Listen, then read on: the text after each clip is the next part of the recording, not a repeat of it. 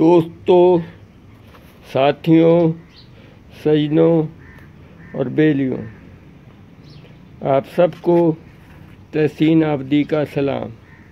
आप ये देख सकते हैं कि हमने टमाटर के बीज लगाए थे और उनसे फिर पनीरी हासिल हुई थी और फिर उस पनीरी को हमने कुछ जब पौधे बड़े हो गए तो हमने इस पनीरी को लगाया। आज माशाल्लाह ये हमारे टमाटर के पौधे तेज़ी से बढ़ रहे हैं और एक पौधे में तो आप ये देख सकते हैं कि टमाटर भी आ गए हैं। और दूसरे पौधों में आपको अगर मैं दिखाऊँ तो ये देखें, ये कलियाँ भी आ रही हैं। इनके अंदर ये कलियाँ आ रही हैं और जल्दी इनमें भी फूल खिल जाएँगे और ये पौधे बहुत तेज़ी से बढ़ रहे हैं। और ये देखें, इसमें तो माशाल्लाह टमाटर भी आए और इसमें और भी कलियाँ आ रही हैं। और हम आपको ये भी दिखाएँ कि एक पौधा ये देखें कि ये कितना बेहतरीन हुआ। इसमें भी बहुत सारी अब कलियाँ आ रही हैं और इनमें जल्द ही टमाटर भी आने शुरू हो जाएँगे।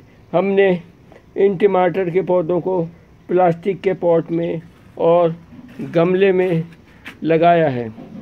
घरों में आप सब्ज़ियाँ लगाएँ और आप अपना शौक़ पैदा करें ताकि आपको घर में ताज़ा और बेहतरीन सब्ज़ी हासिल हो सके।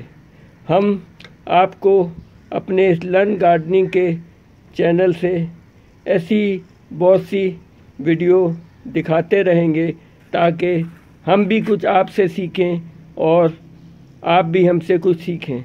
और ये ताकि हम अपनी गलतियों से सीखकर आपको बेहतरीन से बेहतरीन वीडियोस अपलोड करते रहें। अब ये देखें कि ये टमाटर माशाल्लाह बहुत अच्छे आए हैं और ये पौधे भी बहुत तेज़ी से बढ़ रहे हैं। हमने अपने घर में बहुत सारी सब्ज़ियाँ लगाई हैं। हम आपको और भी टमाटर के पौधे दिखाते हैं, जो कि हमने हाइड्रोपोनिक तरीके से लगाए हैं। अब ये देखें कि ये डेढ़ लीटर वाली प्लास्टिक की बोतल में टमाटर के पौधे कितने अच्छे बढ़ रहे हैं। इनकी जड़ें देखें, नीचे पानी में चली गई हैं और जड़ें पानी बोतल के अंदर मौजूद पानी से हासिल कर रही हैं। और ये देखें कि ये तरीका काफ़ी कामयाब रहा, लेकिन आम जो लोग हाइड्रोपोनिक का तरीका इस्तेमाल करते हैं, उसके अंदर वो ये करते हैं कि वो उस तरीके के अंदर एक बहुत काफ़ी ख़र्चा होता है, प्लास्टिक की शीट्स कायम की जाती हैं और चारों तरफ़ से उन्हें बंद कर दिया जाता है और उसे फिर सिर्फ़ टमाटरों को पानी के अंदर पैदा किया जाता है और उस पानी में केमिकल खाद डाली जाती है। लेकिन हमने थोड़ा सा मुख्तलिफ़ करके ये टमाटर के पौधे लगाए और भी दूसरे पौधे, पालक और दूसरे भी हमने इसी तरीके से लगाए। हमने इसमें देखें कोकोपीट खाद और मिट्टी का इस्तेमाल किया और थोड़ी सी रेत डाली। हमने इसमें कोकोपीट और खाद पचास पचास परसेंट के हिसाब से डाली और लेकिन मिट्टी और रेत हमने इसमें तकरीबन 10-10 परसेंट डाली।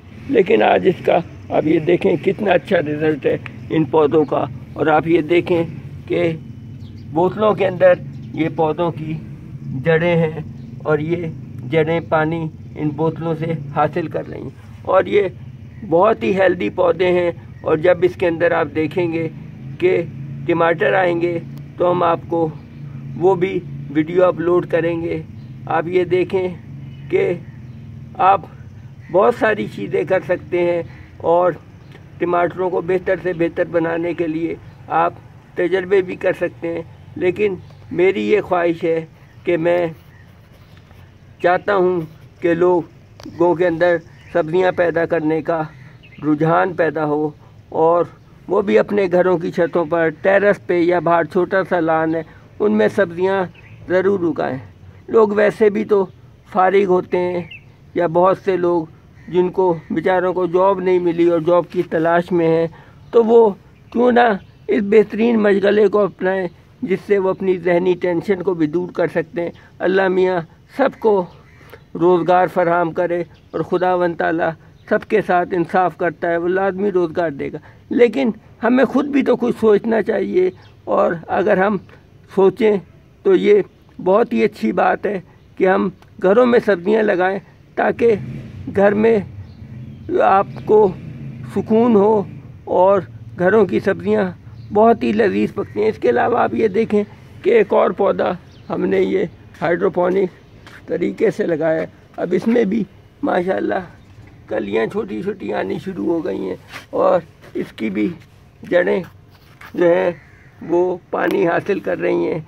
आप ये देखें कि ये जड़ें पानी के अंदर हैं और इसके अंदर पानी है और ये ये पौधे की जड़ें पानी इसमें से हासिल कर रही हैं। और ये पौधा भी बहुत अच्छा माशाल्लाह डिवेल्प हुआ है।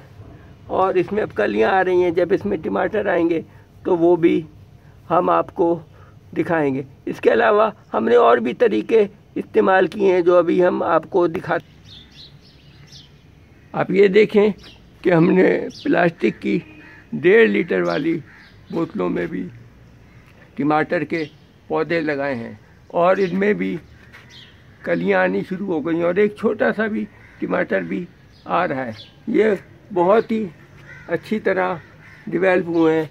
इन बोतलों में देखें, आप ये देखें कि ये पौधे कितने अच्छे ग्रोथ कर रहे हैं। इनमें कलियाँ आ रही हैं। और जल्दी इनमें टमाटर आएँगे तो हम आपको वो भी दिखाएँगे। आपके पास नहीं है कोई चीज़, गमला नहीं है, प्लास्टिक पॉट नहीं है तो आप आपके घर में बोतलें तो ज़रूर खाली होती हैं, आती हैं, उसको ज़ाया करने के बजाय। अगर आप ये टमाटर के पौधे या और दूसरे पौधे लगाएँ, ये देखें मैंने एक, ये हरी मिर्च का पौधा भी लगाया है। और ये मैं इस तरह के तजर्बे करता रहता हूँ ताकि मुझे पता चले कि कौन सी चीज़ कामयाब होती है। और फिर मैं वो अल्लाह करता है तो मुझे कामयाबी अता होती है, और फिर मैं उसको आप तक शेयर करता हूँ। आप ये देखें, इसके अलावा ये भी, एक टमाटर का पौधा बोतल में लगा हुआ है, और इसमें भी अब कलियाँ आ रही हैं। ये देखें, इसमें भी कलियाँ आ रही हैं, ये भी एक पौधा जो है, ये टमाटर का लगा हुआ है। इसके अलावा आप ये देखें कि ये टमाटर के पौधे हमने जो टमाटर के अंदर शकर होते हैं, यानी फालतू टहनियाँ, उसमें शाखें निकलती हैं तो उनसे को काट कर ये पौधे लगाए, और इन्हें भी हमने ज़ाया नहीं किया, और जल्दी इनको भी मुख्तलिफ़ तरीक़ों से, बोतलों में या हाइड्रोपोनिक तरीके से मुंतकिल कर देंगे। आप देखें कि टमाटर बाज़ात इतना महँगा हो जाता है कि आदमी में उसे ख़रीदने की सख्त नहीं रहती। लेकिन अगर हम थोड़ी सी कोशिश करें और जद्दोजहद करें तो घर में ये सब्ज़ियाँ खुद ही पैदा कर सकते हैं जो कि लोगों के लिए आसानियाँ फरा ये देखें एक और ये पौधा लगा हुआ है। आप ये देखें कि इसमें भी माशाल्लाह कलियाँ आ रही हैं और ये पौधा बहुत अच्छा डिवेल्प हुआ है। बस आप आज ही कोशिश करें आ, कोशिश से ही चीज़ें हासिल होती हैं। इसके अलावा आप ये देखें ये भी माशाल्लाह टमाटर के पौधे लग रहे हैं और इनमें भी, माशाल्लाह, ये कलियाँ आ रही हैं और जल्दी इनमें टमाटर जब होंगे तो हम आपको उसकी भी वीडियो अपलोड करेंगे। इसमें वही है कि हम जो ये गमलों में या इसमें लगाते हैं तो हम इसमें ये करते हैं कि 50 percent gardening foil 50 percent compost या खाद। हमने तो अपनी खाद घर में ही बनाते हैं जो कि अंडों के छिलकों, केले के छिलकों और दूसरी चीज़ों से तैयार होती है। ये हम सब्ज़ियाँ घर में होती हैं, उनको छोटा छोटा काट कर इकट्ठे करते रहते हैं और फिर उन्हें एक बहुत बड़े गमले में डाल दें और वो तीन चार महीने में बेहतरीन खाद बन जाती है। अब ये देखें, हमने ये टमाटर के पौधों को सहारा देने के लिए ये हमने ये प्लास्टिक के पाइप इस्तेमाल किए हैं। जब ये बड़े होंगे, क्योंकि ये बेल की सूरत में चढ़ते हैं तो हम इसको सहारा देने के लिए हम इनको प्लास्टिक के पाइप से इन्हें सहारा देंगे, ताकि ये पौधे ख़राब ना हों। बस हम ये कहते हैं कि आप हमारी हौसला अफजाई करें और आप हमारे चैनल को लाइक करें, सब्सक्राइब करें, ताकि हम और भी बहुत सी वीडियो हम इस लर्न गार्डनिंग के चैनल से आपको अपलोड करते रहें। कुछ आपसे सीखें, कुछ हम आपको सिखाएँ तो इन हम पाकिस्तान में सब्ज़ियाँ पैदा करने का रुझान पैदा कर लेंगे। अल्लाह हाफिज़।